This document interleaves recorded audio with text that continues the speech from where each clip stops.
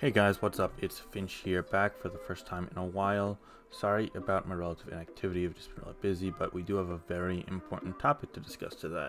For those of you that don't know, Pokemon Home is being released, well, quite honestly, today. I'm recording this on the 29th of May. It should be coming out, you know, depending on where you are in the world, either later today or tomorrow, so very exciting news. With this coming up, we were able to have a council vote on the OU status of a ton of Pokemon Annihilape, Basculegion female and male, Chi-Yu, Chien-Pao, Espathra, Fluttermane, Houndstone, Iron Bundle, Landorus Incarnate, Magearna, Palafin, Regieleki, Spectrier, Shifu Single Strike, Zamazenta, and Zamazenta's Crown.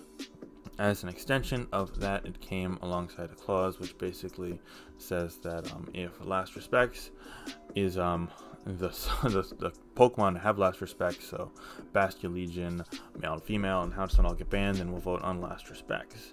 So most of these votes are already uh, released publicly. I kind of released them one per day, and as you see here, we've got a whole slew of things. Spoilers. um, but that's been public information now, and a lot of people are, are interested in that. You know, I've been actually pretty pretty popping off on Twitter lately, so you know, if you want more consistent information from me, definitely check me out on there.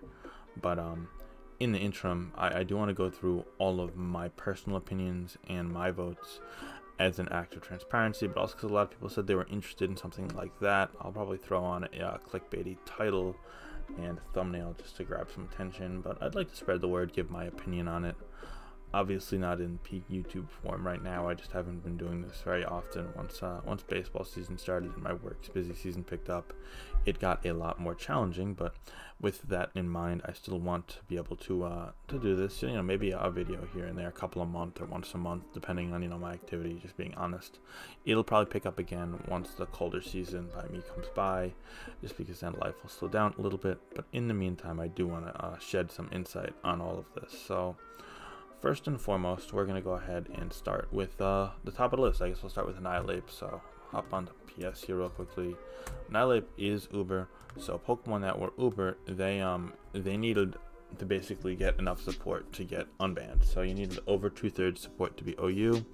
Unfortunately, Annihilape fell short of that, and my um, personal vote was also to vote it into overused. Uh, sorry, vote it in, back into Ubers rather than into overused. Um, so in my opinion, it was rightfully put in Ubers before, and nothing much would change with it now. The big reason why would be the move Rage Fist in conjunction with pretty respectable bulk. 110 HP coupled with 80-90 defensive stats is above average for sure. Couple that with potential for investment, it goes a long way. Rage Fist is an interesting move. It's a unique move where every single time you take an attack, it basically boosts another 50 base power. Let's say I switch in on a Corviknight U-turn or a Great Tusk's uh, Defensive Earthquake or a Ting Lu's uh, Defensive Earthquake, for example. These things can basically turn from 50 to 100 or 100 to 150, 150 to 200, and you're able to withstand numerous of those hits, especially when you have leftovers, the potential for Rest plus Chesto Berry as the alternative, and Drain Punch to heal as well, boosted by Stab. So it's all great and well, and it definitely makes it very hard to stop to begin with, basically meaning that any bulky team weak attacks from like Toxapex or Amoonguss, for example, they're they're going to be abused and suddenly taken advantage of. But couple this with the fact that Annihilape can use Terastallization to turn into a water, or a fire, or a fairy, or a dark, or a um, steel type. You know, just some common types used before and suddenly you're able to really be hard to revenge kill. You know, things like Specs Dragapult, like oh, you're a ghost type, that can revenge kill you. But if you become something that's neutral to ghost, suddenly Specs Shadow Ball is only doing 45%. Or let's say you are facing something like Iron Valiant, and it's like oh, Moonblast takes that out with ease, but you become a fire type, and suddenly Moonblast does under under 30%, probably under 25%, quite frankly. And if you become a water type or a steel type, it's still neutral, so uh, uh, sorry, it's still it's still neutral to water, resistant by steels. You know these these things. You know, it's not gonna be able to one v one you. Suddenly you're doubling or tripling Rage Fist's power in the long haul, and it becomes very uh, very intolerable. So in my opinion, in a metagame with full Terastallization, Annihilape definitely doesn't have a place in in overuse standing, and as such, I voted accordingly. I think that's you know pretty straightforward. I think a lot of people understood this one. A lot of people did want to see it back in OU just because it's a very cool, novel Pokemon with an interesting concept behind it, and the power creep is going to go way up to begin with, but truth be told, it really invalidates an entire bulky side of the spectrum, and offensively speaking, it is very hard to revenge kill with Tera in mind, and that leads to getting multiple kills most games, and also just being very hard to, to pivot around and put some pressure on every single move. And I don't really find that a very healthy dynamic personally. So I'm glad it went to Ubers. Um, I believe was one of the first things we voted on. Um, yeah, as you can see here. Nihilip, yeah. So it did get a good amount of support for OU, but again, it needed over 66.6%. Uh, so I voted Uber alongside EMA, uh, Star, and TPP or Team PokePal. So very happy about that result personally. Obviously, though, especially given the closeness of that vote, we'll, we'll look into it again in the future. Um, the next Pokemon I'm going to discuss, actually, I'm going to group them together, is going to be Basculegion Female, Basculegion Male, and Houndstone. Um, these three Pokemon all got voted to be banned pretty uh, pretty comfortably 8 1, 7 2, and 8 2. Um, the reason why the number total is different is Slime Victini abstained on anything that's not released yet. Um, so you'll see those have 9, others have 10. But um, regardless of that, so all these Pokemon got banned. I mean, for those who don't know, Last Respects is one of the most crazy moves in the game. Um, basically, in the same sense that, um, let's just pull it up here. Oh, Sorry about that. So in the same sense that Rage Fist boosts your power every time you get hit by an attack, And this time you don't have to get hit by attack, you just have to have a team member die. So let's say I'm running a rain team with Swift Swim Basculegion, which already is pretty respectable offensive profile, 112 attack with Water and Ghost, two really good offensive types, especially Ghost. Um, let's say my uh, my rain setter dies to set rain, you know, Pelipper or whoever it may be. That's one. And then let's say I, I trade a couple Pokemon. So let's say I'm down three or four teammates. Suddenly this is a 200, 250 base power move off of Stab Ghost, and I'm faster than everything in Rain, and you realize now that the game is entirely, entirely, entirely um, just over. Like there's nothing you do to switch. You either have a water type that can somehow live a boosted, uh, boosted water attack in Rain, which uh, good luck finding that normal type that lives a boosted water type and attack in Rain because it doesn't really exist, or um, some way of changing the weather and making it slower, or you're done.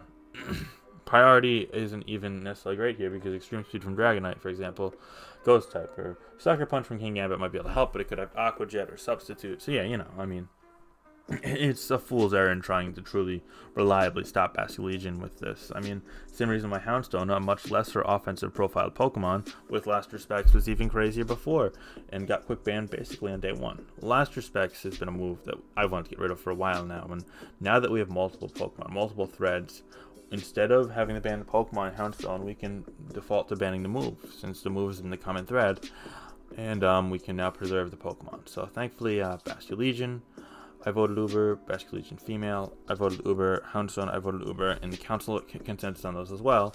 That triggered a vote on Last Respects. Last Respects vote ban was unanimous, so therefore allowing Basculegion, Basculegion female, and Houndstone in OU and last respects going to Ubers. So that's um that's really awesome in my opinion. A lot of people wanted Houndstone before, and now uh, their uh, calls are being answered. So I hope that people are happy about that. I know it took a little bit of patience, but all in all, I'm really happy with uh, with this this proceeding. Yeah, no, I, am definitely this is probably one of the ones I care the most about. And we revealed it first for a reason. Well, I revealed it first for a reason. I, I care to, to control that schedule a little bit there. So next up is Chi-Yu. Um, let me put it this way. So Chi-Yu let's say you want to run a Sun team and you got Chi-Yu, and you can throw Choice on it because you want to see how strong it can really be. But on top of Choice Specs, you're also boosted by Sun.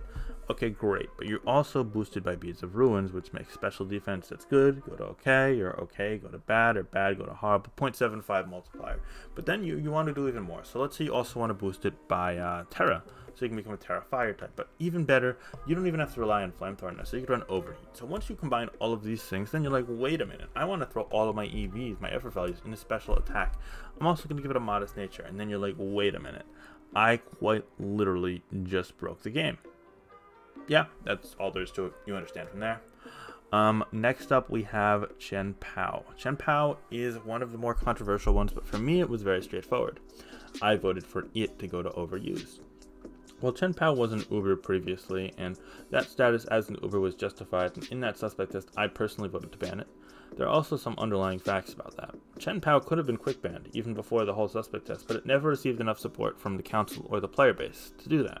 On top of that, it could have had a very, you know, clear suspect verdict, but it didn't. It, in fact, it barely got banned via suspect, which was surprising to some because it was pretty broken, but nonetheless, when you have a Pokemon that barely gets enough support to be banned, in a suspect. Doesn't get enough support to be quick banned. And then you see things like potentially Zamazenta or Zamazenta Crown, potentially Urshifu Rapid Strike, Magearna, all potentially dropping, coupled with the fact that the metagame is getting faster, more priority inducive. And you're like, well, if Chien-Pao barely got banned then, there's going to be more things around it now that can potentially check it. And the metagame pace might be less conducive towards it, you know, being faster and stronger and everything, then it's definitely time to give it a chance back. And, and that's some rough logic. That That's more kind of eyeballing it, if you will. And unfortunately, with things like this, it's impossible to be perfect. But in my opinion, just given all the data we had, given all the opinion we had, given the community sentiment that we had, freeing Chien-Pao is the least we can do. Because the big thing with all of these is, let's say Chien-Pao starts OU, or let's say uh, something else down there, like say Magearna starts OU, which it is. We'll get to later. Um, if they're really that bad, we can just ban them. We could just quick ban them. You know, I mean, if we well, we could even suspect them if we need to. You know, th th there's always the ability to undo these things. So something like this, I'm very confident that even if it does end up banned, we're making the right decision in letting Chien-Pao go. And yeah, it's Swords of Ruin, much like Beads of Ruin, is a great ability, and it's it's pretty strong and fast, of course. But end of the day, it is checkable, it is containable. It's not going to only ruin the metagame. So we'll uh, we'll see. I'm very curious to see what happens. I hope you guys are uh, are as well. Next up, we got um, Espathra. Um, Espathra clicks Calm Mind, and then it clicks either Protect or Roost, and then it gains a speed boost every turn, and then eventually store power is super strong, so you got to go your Dark type to check it, or your Steel type to check it, but then it could Terastallize into a Fairy, or a Fire, or a Fighting type, and then suddenly that's boosted Tera Blast to get them, and then you're like, wait a minute, I'm not playing Pokemon, I'm just playing Tera Slot Machine weighted RNG games. I hate it here. Let me go play something else. And that is why Espathra is no longer part of our tier. And it's still not part of our tier, despite Shed Tail being banned, just because it's outrageous as a cleaner. It's a guessing game. I mean, Tera Dark Clodsire is like a universal counter, but nothing else really exists. I guess um, it also was running, I believe Magearna lost Heart Swap, which would, you know, kind of be unfortunate. Um, you know, there's more Sucker Punch users out there now, but it can Tera away from Sucker Punch or Substitute. Um, all in all, it's just really unfortunate because Espathra is a cool Pokemon with a really unique design and setup, but in the same light, you know, it's it's ridiculous. So I voted ban on it, and I think we had like an 8-2 support on it. Um, yeah, 8 to 2. Okay, next up, next up, next up, we're gonna go down to Flutter Mane. Fluttermane was banned um, like day one or day two. Flutter Mane will remain banned. I uh, voted that way just because there are no real checks or counters to it. Um, between Terastallization, its move pool, potential to subvert checks and counters with with all sorts of things. It's really only checkable by priority, and it could even, you know, Tera Fire away from a Bullet Punch or Tera Fairy away from a Sucker Punch. I, uh, I mean, it's just too strong. It's probably pretty good in Ubers, if I had to guess. I, I don't really know anything about Ubers, though, but man, that, that shit is strong, nasty. Uh, definitely no place in OU, so I think he got voted everyone but one person. Um, Iron Bundle, kind of like Flutterman, but a little less um, outwardly broken. It has a bit better physical defense, of course, which is great, although lacking in special defense. But Iron Bundle's combination of Hydro Pump and Freeze Dry plus Ice Beam, I guess you could say. Um, until we see something like Empoleon drop in the game, or uh, you know Chansey Blissey take over. Is not much can be done. I mean, Blissey's viable, but not really. It's super super compromised move pull wise, which is unfortunate, and you know it's reliant on heavy duty boots, which we're gonna get more item displacement, I believe. So it's tough, but yeah. Also, bundle is just super strong and fast. Um, it's able to come in pretty readily. You can even use Tera if need be to get away from potential revenge killing efforts, or um, or bolster its Hydro Pump slash Freeze Dry to kind of uncounterable levels. When I see Bundle, I, I, see something that is just a little too strong for OU, and there's nothing believing making me believe that it would change anytime soon. So I voted Uber, and it got well enough, more than enough support. Uh, Landorus-I, you know, it's imagine all of the offensive attributes that's classified the bundle, but it's stronger in exchange for some speed. You know, it's still faster than average Pokemon by a good amount, by 101 base speed, I believe. But Landorus-I, I mean, let's do the thing we did with Chi-Yu. You're right. So you got not only the fact that it has sheer force, which is one of the best, but also life orb doesn't take life orb damage, and then also you can go ahead and throw earth power on there. And now I believe it got nasty plot this generation as well, coupled with the fact that you can max out, you know, even modest your special attack. Maybe you probably would run Timid more often, but still, you know. And you're like, well, Okay, that's fine. Earth Power, I can take that. But it's got, you know, Sludge Bomb or uh, Focus Blaster, Psychic, or uh, Knockoff. Um, oh, it doesn't get Knockoff. Okay, but Grass Knot, or, um, oh yeah, or U-Turn. Yeah, all these things. You know, there's basically, it can pick and choose what could check it. It's never going to touch every single Pokemon, but the fact that has the ability to hand pick its own checks and counters while being this fast, this accessible, not necessarily super fragile either, um, leads to really unhealthy, you know, aggressive metagame development where there's no way you could pivot around it really you kind of have to do guesswork to get around it and that, that's not healthy that's not fun that's not even accounting for the fact that tera um, it is true that it lost rock polish but it was really more of a breaker than a cleaner always you know people were obsessing over the fact that it lost rock polish i don't think that really mattered too much it didn't move the envelope for me i voted to put it in ubers and so did um so did everyone besides some Victinium stance. Yeah, unanimous vote. Um, always fun to have those. Always fun when everyone agrees. Um, Magearna next up. So I voted Uber on. Um, I don't think it's going to have much of a place in overused metagame. Um, Magearna with Terastallization just looks like a demon between the possibility of a choice spec set, you know, being able to basically pick what it, you know wants to cripple trick and pick what it wants to break through with the you know Tera Fairy specs boosted Flare Cannon, which is crazy. Um, and in the same light, you know, it can also uh, be a sweeper, you know, Calm Mind, Drain Kiss, uh, stored power sets, uh, throw Tera Blast on them, you know, shift gear options, um, you know, and with Tera Blast, you kind of handpick your own counters again, um, with the potential to even beat things like, uh, like Clodsire, if you really need to, um, Volcarona no longer is a checker counter with Tera either, um, you really can kind of decipher too much. And in my opinion, all the uncertainty, the unpredictability kind of makes it like a, a Volcarona, but two or three times better, honestly, because it has that bulk and that initial typing that's already so great. And its move pool, as it is, you know, it's great. You know, I mean, again, just move pool wise, shift gear, calm mind. I mean, you know, attack wise, it gets flare cannon, flash cannon, thunderbolt, ice beam, Aura Sphere, Focus Blast, Draining Kiss, Stored Power, options like Encore to get free turns, you could Substitute to Scout, it could Pain Split to heal, you could Shadow Ball to hit specific things, now there's Tera Blast, Trick with Choice Specs or Choice Scarf, you know, all these things, and truth be told, I, I don't see a metagame where it's going to be contained, I mean, on Trick Room it could be, you know, a Setter plus Breaker, on, uh, on offense it could be a sweeper be it with screens are all, all together you know you could run all sorts of items all sorts of move sets combinations there's no limit You know, the sky's limit, and in my opinion, it doesn't really have much of a place in OU because of that. But um, I was pretty strong passionate about this one, but I got uh, I got outnumbered. You know, since it's new release Pokemon, only needed you know over it needed over two thirds support to be Uber, and um, five people voted OU, one person voted abstain, and only four people voted Uber. You know, myself, Ozma,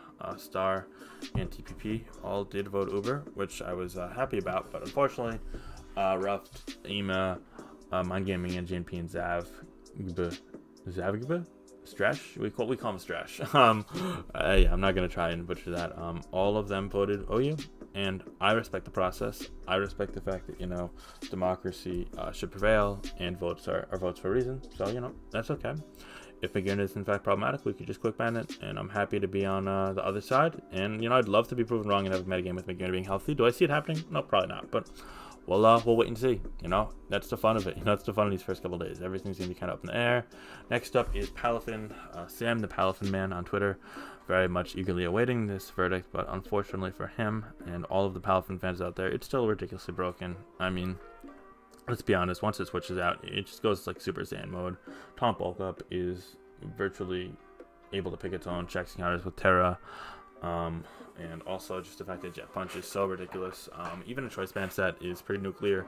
At least that's checking counterable by like the specific bulky water and grass types. But yeah, no, I mean, Palafin itself just derails gameplay. It can kind of dictate what it checks and counters. Also like surprisingly bulky. You know, it's just a really great Pokemon and a little too great for OU. It really derails games, and that's unfortunate, but it's the reality of the situation.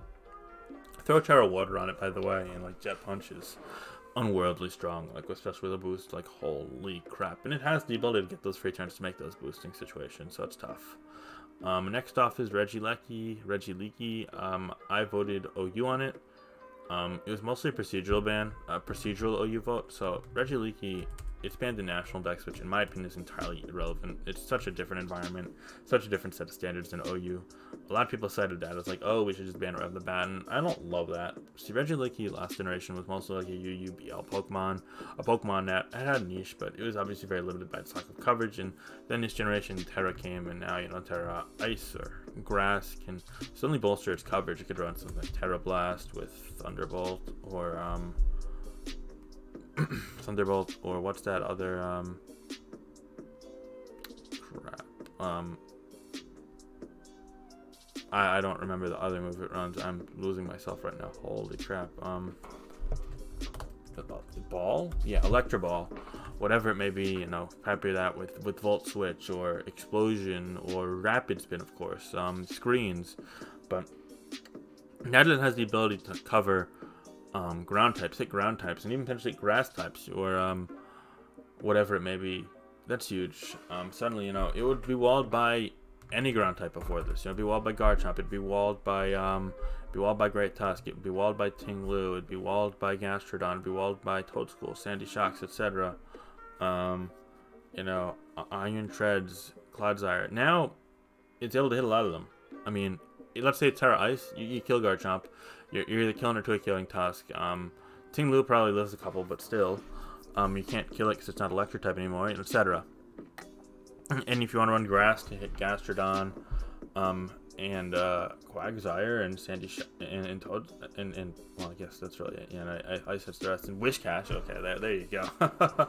you can as well. Um, I'm guessing that's gonna kind of limit metagame. You know, Warpest. Everyone's gonna be running like Assault Vest, Iron Treads, and Clodsire and shit. Um, so I think it's probably going to be banned pretty quickly, but I do want to see, I mean, because there's a big opportunity cost in forcing it those eyes. If you face one of those things, you're way down. You're basically playing a Pokemon down, like Volcarona in the Heatran last generation type of opportunity cost. So I was interested enough to see that. Um, a lot of people did want it banned. I understand that. I don't really regret my vote, but I am saying that I'm willing to, to ban it and kind of set the precedent that with Tera, it's pretty ridiculous.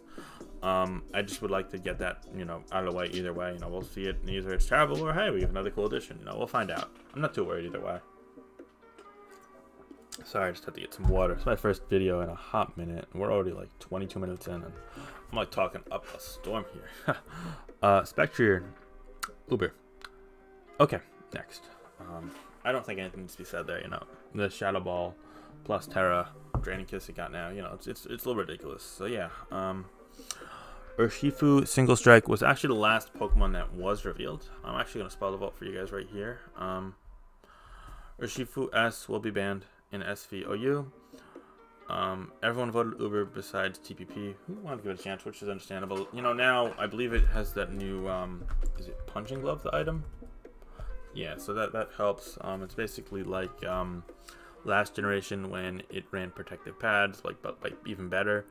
Um, Shifu did suffer a slight setback. We could pull his powers down 75 from 80, but that's still it's still strong when it crits every turn. I mean, and now it also it gains Swords Dance, which screw out of here. And if you look at the fairy distribution, which is a big thing, you know, there's no Buzzwole, um, no Clefable, Valiant can't really switch in super safely to any coverage move. Um, you know, these Pokemon, I mean, Scream Tail doesn't even resist, and these Pokemon, you know, they're not going to wall it either. Um, the lack of fairies is really disturbing this generation. I mean, we probably see like a renaissance of like Sylveon and Florges, and like I don't, I don't want that. No one wants that. Um, yeah, no, I mean, it, it, would just be a little too crazy. Um, nothing really swaps in because of that. I mean, if, if Clefable or Buzzwole or Physically Defensive Tangrowth existed, it might be a different story, but it just doesn't. And something like Chesnaught's not going to live a repeated assault of close combats, unfortunately. So it's it's tough. It's it's tough. Um, next off, we are going to be um, we'll be talking about Zamazenta and the Zamazenta Crown. So these are two Pokemon that I personally voted OU, unlike its fellow fighting type, uh, their fellow fighting type Urshifu, which I voted to be uh, to be Uber. I voted OU on these two, um, in part because in my opinion their stories look really incomplete, and I feel like they're not at the power level of other like mainline Ubers, you know, the box legend types of Pokemon, and it deserves to, you know, do our due diligence, how they are in OU. But in terms of Zamazenta, I really do believe it can be like legit OU Pokemon. Um, it, it's strong, no doubt about it. And it has good enough bulk to really uh, be good.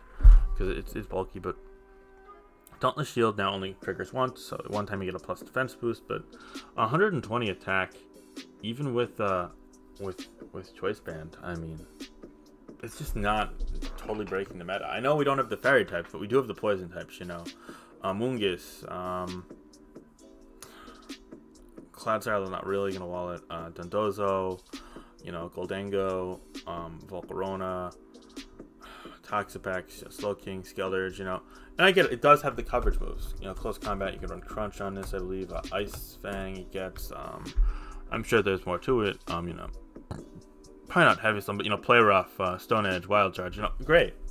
It does have coverage hit everything, but to really break through the walls, you need to equip it with a choice band. And in my opinion, with all the regenerator out there and with all of the Rocky helmet out there, it is going to be really prediction reliant for it to make progress. And maybe that'll be enough to where the game becomes all guesswork and it is broken in which case we'll, we'll, happily just ban it. But I don't think that's going to be the case. I think Zamazenta might be OU to stay, and I'm really excited about this. I know it's super fast. I know it's got such a flashy 660 base stat total. It's bulky, but I, this Pokemon can be contained, and I'm kind of hoping it will be. I'm also curious. I know it doesn't get a uh, Swords Dance. Um, it does get Howl, though. I'm wondering if like a Howl 3 attack set with like Life Orb or Protective Pads or something might be might be hit might be a hit. Um, obviously you probably want Wild Charge over Ice Fang so that you can uh you can tip Pex and Slowking.